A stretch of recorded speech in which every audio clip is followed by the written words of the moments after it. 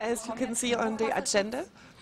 So before we talked about the protection from floods, and now we will talk about the protection of uh, arable, arable land. So protective measures in Saxony and uh, give some details how we can use Radolan data and high-resolution terrain models in order to plan measures for the future.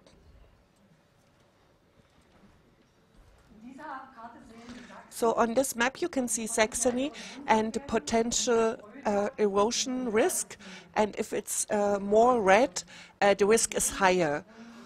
And you can see because of the loess soil in the middle area and also in the foreland of the uh, mountains, uh, there is a higher risk for erosion. So about 60% of the uh, fields in Saxony have a potential erosion risk. And currently there are also erosion events uh, taking place. When you look outside, it was dry for a long time and when now will be heavy precipitation events, then there could be erosion. So this happens in May and June, where you have heavy precipitation and therefore also erosion events, and again in August and September. So the high potential risk of water erosion in Saxony, and you can see again the map of uh, Mr. Franke of his presentation yesterday, the increase of heavy precipitation uh, events. You heard it from him yesterday, uh, the analysis of heavy rainfall in Saxony uh, you could see that uh, the intensity increased and also the frequency increased. And the question is how it will be in the future. But we think that uh, for thermal reasons, there will be small-scale uh, heavy rain events in the future. So we have a need for action now to prevent water erosion and because of laws, uh, for example, the federal law of uh, soil protection and the water framework guideline. And so this uh, need for action will be like this uh, increased even in the future. So the consequences of heavy rain events you can see on the fields itself. Uh, these are the so-called on-site damages. So uh, soil is lost, and so uh, the farmers lose uh, their uh, goods and especially in dry periods uh, there is also a water loss so the water cannot go inside um, the soil but it runs off. Uh, there are also off-site damages on buildings, uh, on roads. Here you can see a picture of a reservoir where there was a lot of input of sediment so uh, trenches, ditches are filled, and this could cause high costs, and that's why we have to prevent this. Here you can see in these two pictures the yield, uh, the loss of yield capacity because of erosion. So we have a field test in Saxony, where we have uh, loss, where we have a slope of 60%. And you see uh, on the top of the hill, there we only have 20 centimeter loss. And uh, at the foot of the hill, there we have two meters of loss. And we detect this in four positions on the slope. And we see that the differences of the yield capacity will be up to 80% with the different crops, and this increases also. So especially in 2003 we have seen this, but also last year, especially with corn, there were uh, yield capacity uh, differences uh, of up to 80%. When you compare the yield capacity at the top of the hill uh, to the foot of the hill.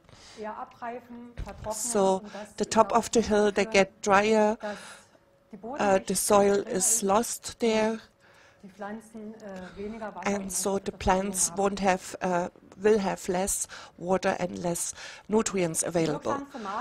So the most effective measure for a sustainable and preventive erosion protection is a permanent uh, tillage without ploughing and also covering the soil so that the raindrops don't hit uh, the uncovered soil with the full energy and also direct seeding is important. So soil loss can be minimized because of this. So this is the state of action in Saxony. So we assume about 35 percent uh, have uh, ploughless uh, tillage and 50 to 60 percent there are uh, plows used for individual crops. Here you see the different methods. On the left-hand side, the turning plowing method. In the middle, uh, the plow plowless, uh, not turning tillage. So it's um, not as deep as the blow and the soil is not completely turned and on the right hand side there is no tillage at all. It's the direct seeding with uh, the seeds uh, goes directly into the uh, soil. So this direct seeding is only used by uh, a few uh, farmers in Saxony and in uh, Germany because they have to modify the whole system. They don't only have to replace their equipment, they have to fertilize a different way. the crop sequence will be different different. So these are really pioneers who really uh, use this direct seeding. If you don't turn the soil anymore, then um, it doesn't go as deep into the soil. Uh, the soil is covered by uh, the plant remains. And so uh, the water can infiltrate, can go inside the soil uh, much better, and uh, there is not so much risk for water erosion. So we have the following situation that a blowless doesn't mean blowless. So sometimes there are different uh, depths, there are different uh, frequencies and so it's hard to differentiate there. And especially when you have slopes, so the non-turning uh, measure is uh, not sufficient. You always have to have uh, more measures. For example, uh, smaller plots uh, you can convert fields into grassland and you can have green strips and you can also use uh, levees and pits and so on. But the last measures are only used in singular cases because it's really hard to convert uh, the property. Because if you were the owner of a, a field of arable land, uh, then you would lose um, the status. This is an example of a levee in Bröder. It's an area in the northwest of Meißen. So there were uh, two levees uh, placed there. So this is a very nice example for a combination uh, of different measures and it's very important for the farmers. They can still work on these uh, areas. But uh, the planning is very difficult.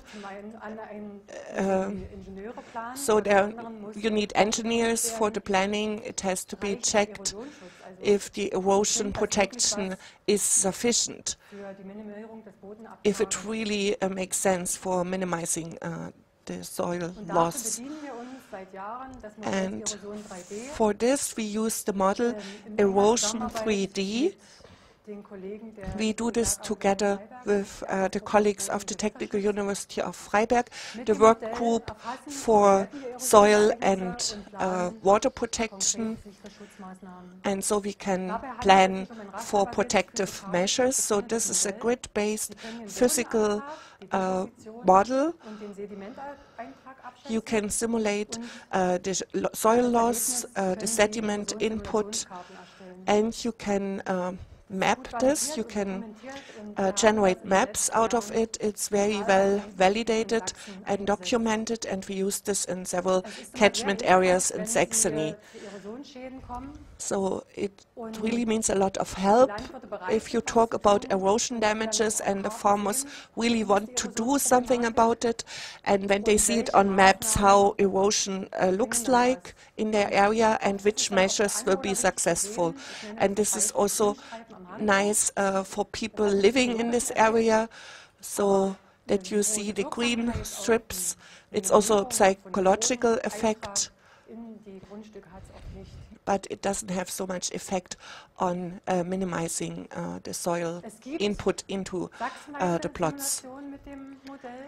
So we have simulations uh, in the whole of Saxony by means of this model. There are two research projects going on. Uh, again by the Technical University of Freiberg.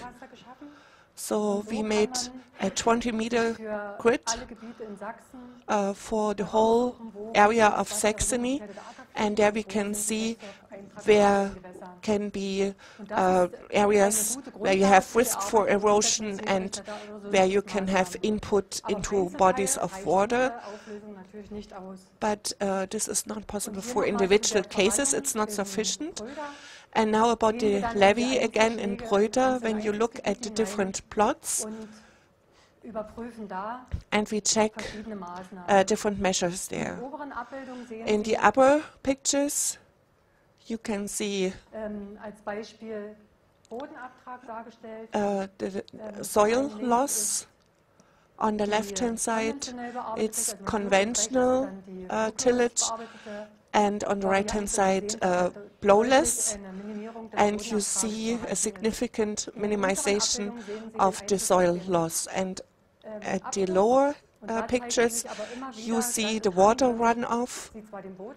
So you can see uh, that the soil loss is minimized, but the water runs off anyway. And now, this is only an example for smaller areas where we can check different versions there.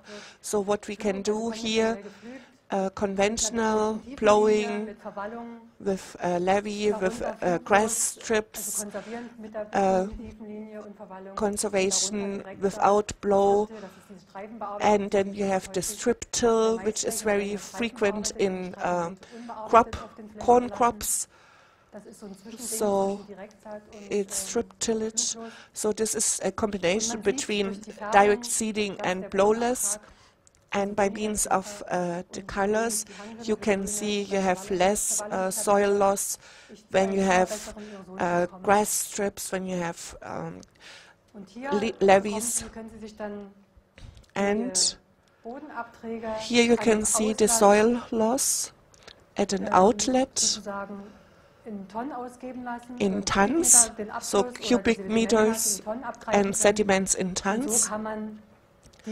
And so you can uh, compare the different versions with each other. On the left-hand side, it's uh, tillage without levees. On the right-hand side, you have uh, levees, and you see that it can reduce uh, the amount of sediments. Ähm, so for this model, erosion 3D, we need the soil data, we need relief data, and we need precipitation data. And it's very important that it's spatially and temporally uh, high resolution, especially of auto photos, uh, large-scale auto photos and terrain data. And since uh, 2011, we used Radolan data of uh, the German Weather Service. we, they are available at the server of uh, the German Weather Service, and we get an information every day about the previous day, where we had uh, events of more than 10 millimeters per hour. Uh, we cannot go there right away and uh, look at big areas. So this is hard to do when you get uh, the message that there were erosion events on large scales. So in Bavaria and in Mecklenburg, um, there um, it was used that uh, drones are flying over the area and they are equipped with cameras and so we can have large-scale aerial pictures and auto photos and we can have high-resolution digital terrain models because of this. So this is an aerial picture of the Saxon Löss hill area. So we can see the tracks of the erosion only at the foot of the hill, but when we have the aerial pictures, uh, we have a good impression of this erosion. And there you can see uh, these trenches of the hills. So this is a great help for us.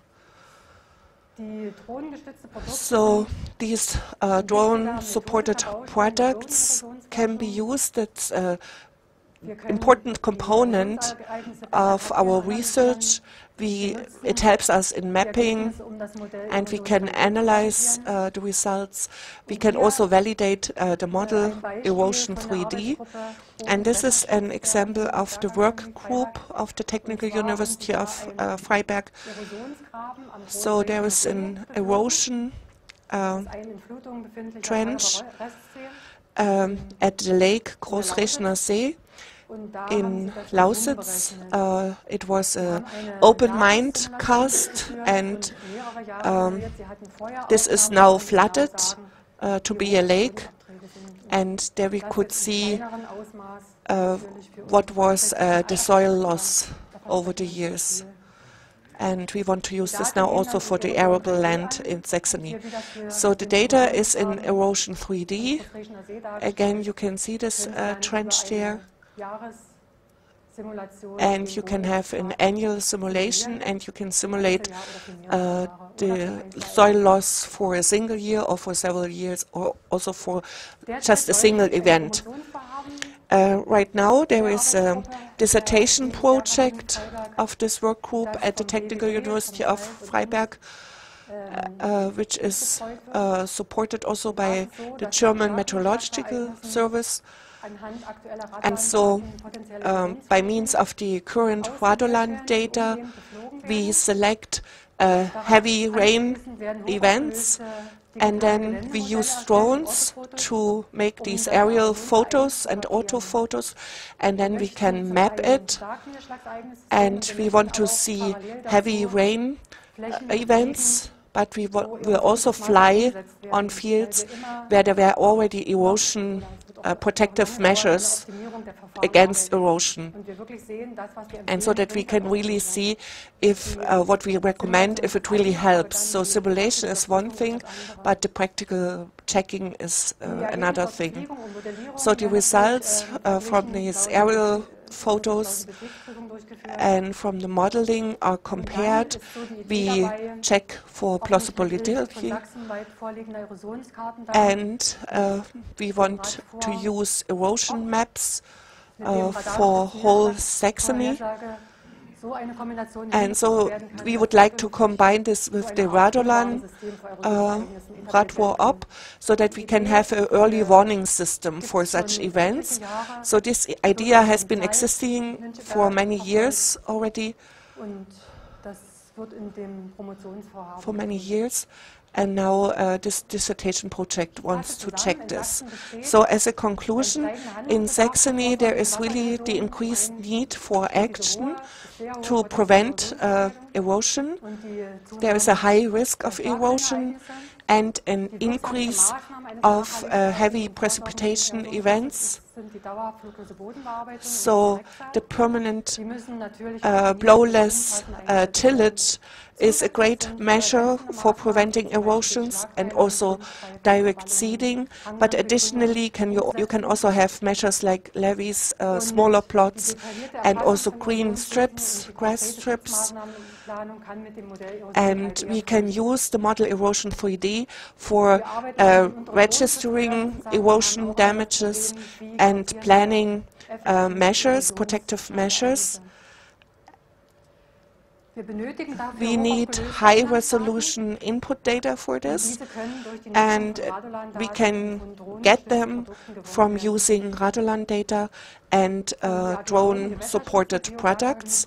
And this work group, uh, Soil and Water Protection of the Technical University of uh, Freiberg, is developing together with other institutions an early warning system uh, for uh, against erosion.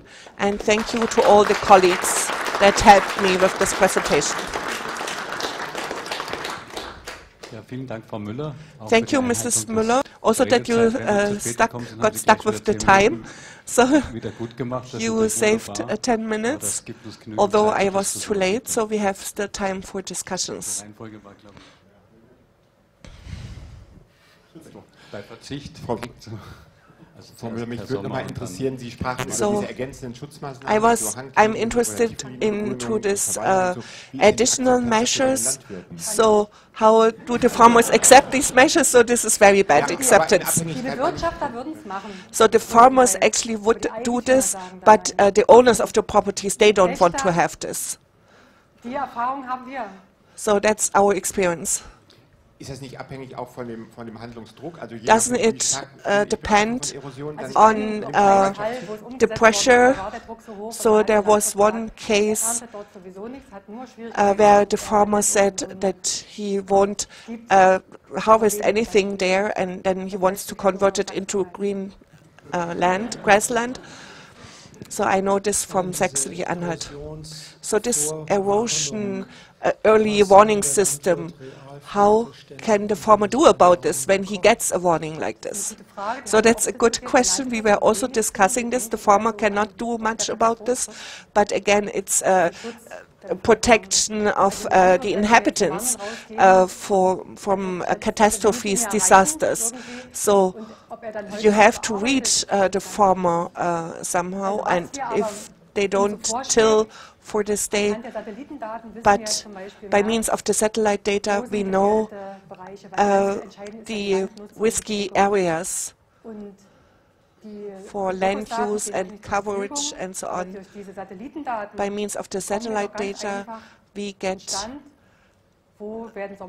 a status where we have summer crops, and then again in August that we know that uh, there was tillage and this could be crops ja, there. und hier sitzt auch noch die Grüne Liga, Jens Weber, And now there is also the Green League and the seit langem BUND, so two environment uh, societies, die wir aber auch von associations. and nämlich der abnehmenden Biodiversität, der dazu So führt, dass there wir is eine a decreasing biodiversity because we have an open aufnehmen und wir landscape hoffen, dass die für die and we hope for the agriculture Ministerium das auch responsible ministries Denn wir müssen einfach and offices, dass in dieser they should also take care of this because the bis Loess 70 Hektar die nach Hills, einheitlichem Prinzip unabhängig so you have plots of 60 or 70 nicht mehr hectare, uh, not depending on the orography. Zurückkehr zu einer guten So we need a good dass das nicht ordentlich agricultural geregelt ist. Im practice. Naturschutzgesetz ist es wischiwaschi. So Und wir uh, wissen auch, dass but we die also need the laws diese for this. Flächengrundförderung, egal ob ich was anbaue von der EU, also the funds from the European Union